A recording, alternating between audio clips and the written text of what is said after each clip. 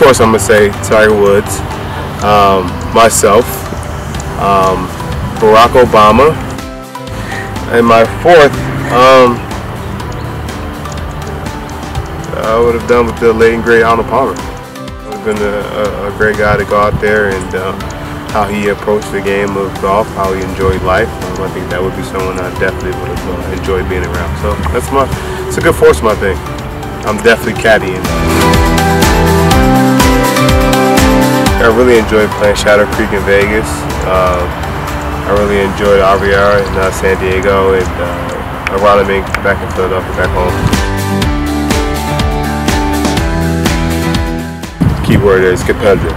You know, these guys, the professional golfers are out there, they work extremely hard in their game. You know, they know exactly what they want to do. And, you know, when I'm watching golf, it's like, man, how do they do that? And for me, it's like, and I'm sure they watch me like, how did he do that? So it's just the professionalism of golf and, and basketball. Um, the similarities are just honestly, it's focus, patience, and understanding what you're doing. Uh, everywhere. Um, the overall game of golf, I think there's um, that's the one similarity again with basketball and golf. There's never a perfection of the game. Um, there's always things that you work on, consistently get better at.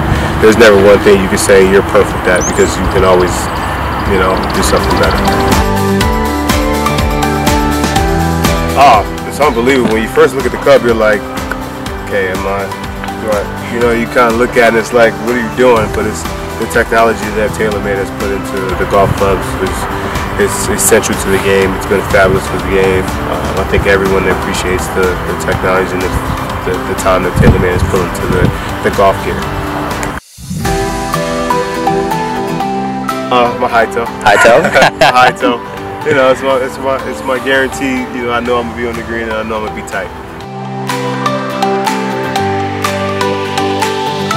For my job, you know, that's what I that's my job. It's just to make shots. So I'm gonna say the five foot slider doing the US Open because I have no idea what I'm doing on the golf course when it comes to that type of stuff.